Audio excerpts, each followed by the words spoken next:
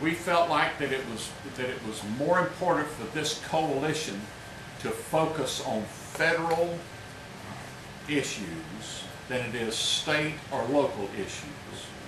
Now, re- remember now, the word I used was focus on those. Even though we, we in, in uh, Asheville Buncombe 912 are not going to necessarily focus on federal issues, we're going to focus on some things that, that, that we do there.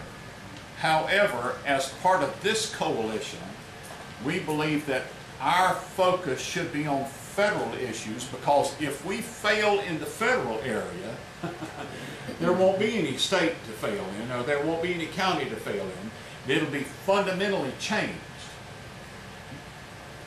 You let me tell you something right now. The road to freedom is not going to be easy even where we are. But if we have to start from being slaves, you, you're looking at a road that's going to be difficult.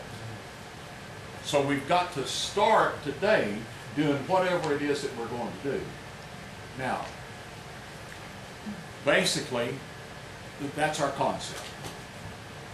We need to have some order to the meetings that we do. We need to get ourselves a, a, a committee, a, a steering committee that will work together and form and flesh out the skeleton and, and come back to us in a month and say, this is where we're going, this is what we're doing, and this is how we think we can get there. What we're doing has been done before. We don't have to reinvent the wheel. All we've got to do is look at what's been done before and pick the things as a group that have been successful and have had the loudest voice. In November, we're going to re-elect congressmen and, and some senators, and mostly congressmen. But however, and, and given the opportunity to re-elect those people, we're going to put a bunch of conservatives in office. We are going to do that, see. And that's why we should have been working this summer to get That's the real right. conservatives with the nomination for November. Ha- However, I hear you. But And see, once, once we get to the place that they don't have control of the Senate and the House of Representatives and the executive branch, we can stop what they're doing. We can cut it off. Not, not during the lame duck session. Yeah. It'll be twenty twelve. But we can't, we can't, And that's when we gotta be, have, be prepared to really, No, I mean lame duck between Yeah. November and January. January. They have no, nothing oh, That'll to be a lose. break. have it'll nothing. Oh, yeah. very interesting. that's right. interesting. Now, now, if, if we were successful at getting enough representatives and enough senators in, we could then by two-thirds majority undo the stuff that they've done, two-thirds. right? I don't know if we're gonna get two-thirds. Well, we don't either, so. don't either. Well, you know what this sounds like to me? Sounds like the Republican Party get out the vote is our goal.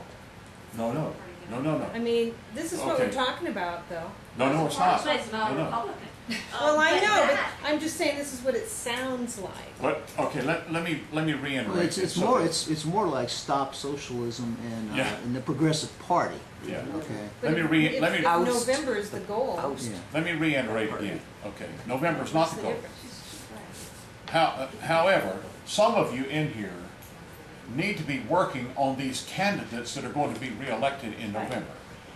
I don't know what we as a coalition are going to do, but what, what we've got to do is speak loud enough that they will hear us and stop what they're doing even now. See, that's where the problem is. We, we are not speaking loud enough mm-hmm. today. Now, now we need to work towards having people elected in November. We need to constantly keep that in mind. And, and we need to move that direction. But, but, I, again, I say, I don't know that they're ever going to allow us to get to November. That's what bothers me.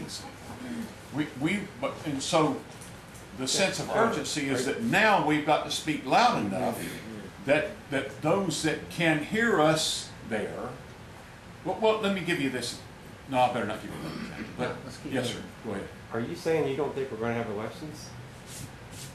Do you know it's possible for us to not do that? Is that what you're saying? I, I don't know. I'm not willing to take the chance that we get to November and don't have one. That's what I'm saying. I think we're in the midst of it. So, Right. so let me ask this question. How do you, how do you overthrow this government today? Do you, do you know how to do that? How many ways? Like fifty No, thousand. no, Taxes. one, one easy way, what do you do? Oh, You go to jail. If you, if you declare a state of emergency and martial law is declared, you suspend the Constitution.